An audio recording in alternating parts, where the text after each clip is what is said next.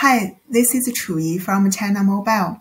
Everyone has undoubtedly experienced the summer's heat wave in recent years.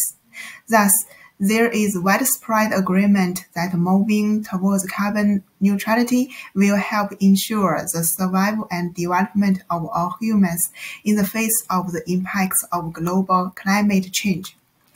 China Mobile, the world's largest network operator with cutting-edge technologies, has taken the initiative to assume social responsibility for green and low-carbon development.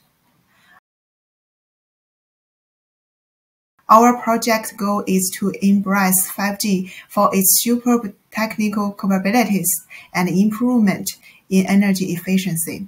We are use, utilizing end-to-end innovative technologies to create energy-efficient network.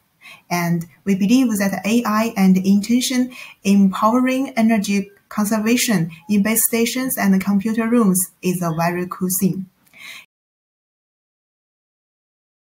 In future project demonstrations, you will see the intelligence of the base station equipment enables the automatic scheduling of dynamic resources, on-demand activation of network capacity, achieving zero traffic and zero consumption in time, space, and frequency domains.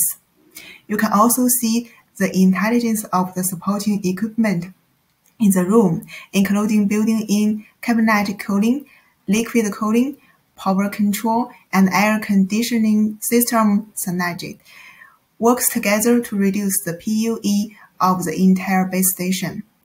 And the most amazing thing is that AI will understand the human's intent, addressing the industry's reliance on manual setup expertise for intelligence and eliminating the uncertainty of energy-saving strategies constrained by prediction accuracy.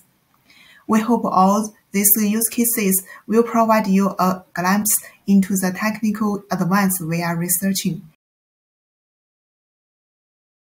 This summer, we plan to adopt the solution developed by this catalyst to carry out multiple trials and pilots in China Mobile's deep network which will directly prove the remarkable effect of our solution in enabling network energy saving in terms of power saving and greenhouse gas emissions.